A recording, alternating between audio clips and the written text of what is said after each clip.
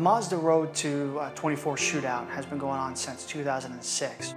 We've uh, each year provided a $100,000 scholarship to uh, one grassroots racer to uh, help them compete in the following season's MX5 Cup Championship.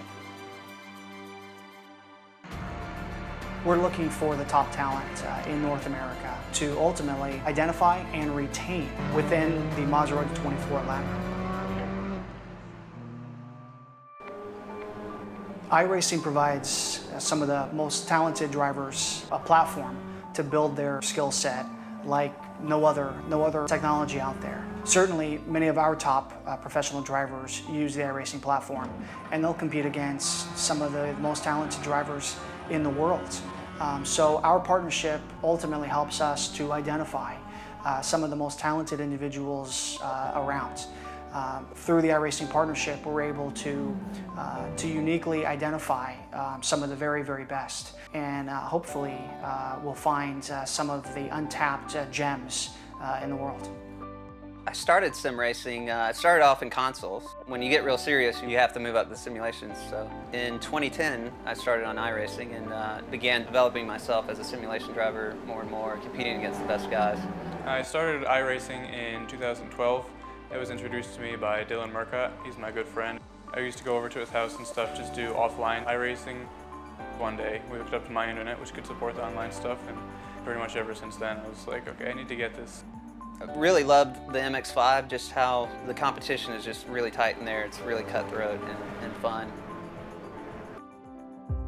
I've done some interviews for the shootout, and uh, I think they've gone really well. Uh, better than I would have, have, thought, but they are very intense. Um, conversations with high-level Mazda uh, representatives. Uh, the person who wins the uh, Mazda Road 24 shootout is going to have to be very well-rounded, not only in uh, their driving ability, but off-the-track uh, efforts. It's the value that you can provide your partners. Ultimately, it's, it's the sponsors and the partners that help the driver continue up the ladder. I'm pretty calm for the on-track stuff. I, I feel like I'll do really well on that. We'll see how it turns out, but I feel confident about it. Surprisingly not nervous at the moment, but I mean, when I wake up in the morning, I'm sure it's going to be a lot different when I'm strapped into the car, ready to go.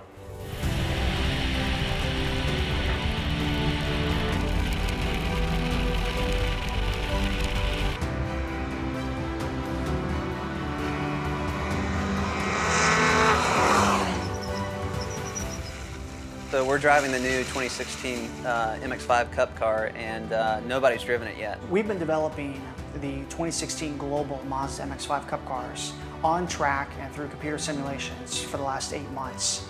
These uh, eight drivers are going to be able to drive uh, the only two that exist currently in the world.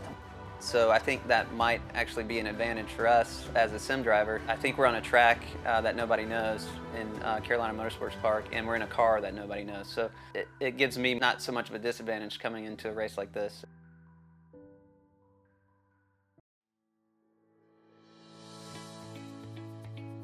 Yeah, I just got out of the car. I was kind of actually nervous going out there because the conditions look pretty, uh, pretty bad out there. But The car's got a ton of grip. The gearbox is seamless and uh, it just handles fantastic. Yeah, I feel, I feel a lot better now after that warm up. So next we're gonna do a 20 minute session and it'll be judged and we'll come in and do data uh, based on that session and see where we can improve, uh, talk about how the car handles.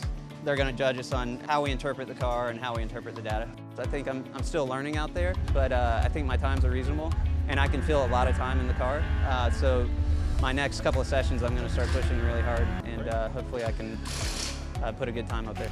The first session was pretty good. I was still taking it, you know, pretty easily. It's kind of slippery out there, but it's not too bad. And then we went over the data. All my braking points and everything are good. I'm getting to the power where I need to. The only thing that I need to work on is I need to uh, come off the brake a bit sooner.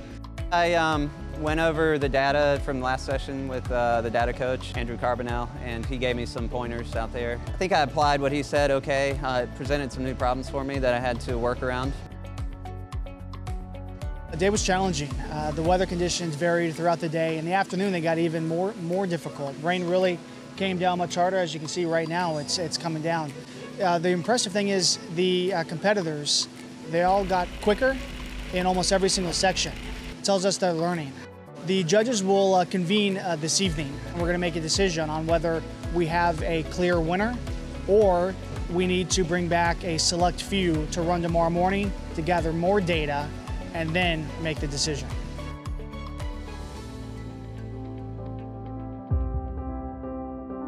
They uh, announced that me and Mark Drennan would be the final two. I'm really excited today. I'm ready to compete for the final outright win. So this morning, we're going to put them out for two different sessions. And we're going to be doing some data review in between. And then at the end of those two sessions, we're going to have to make a decision. Certainly won't be an easy one. Got to go fast, yeah. Got to uh, be consistently fast. That's really the, the goal here. Of course, you can't drop wheels or throw it off the track. That's critical. If you do, you're pretty much out. Uh, but the important thing is to find really good pace, uh, but it has to be consistent pace, a whole bunch of fast laps stringed together. So just going to try to improve every lap and uh, and make sure that I don't make any major mistakes. I'm just excited to be here, ready to uh, go up against Mark Drennan, who's like the spec Miata ace, and uh, you know, really nice guy, and I think he'll be a really strong competitor out there, and uh, I wish him the best, but uh, you know, I gotta beat this guy, so we'll see how it goes.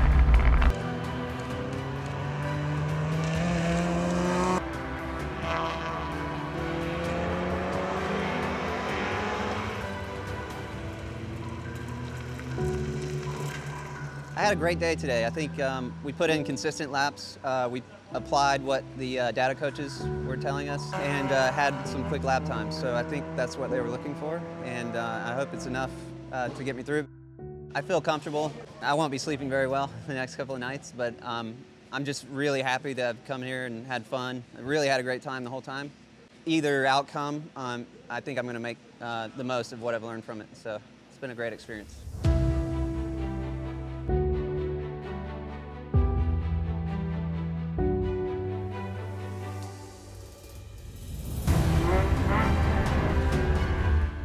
We had eight great competitors over the three-day period.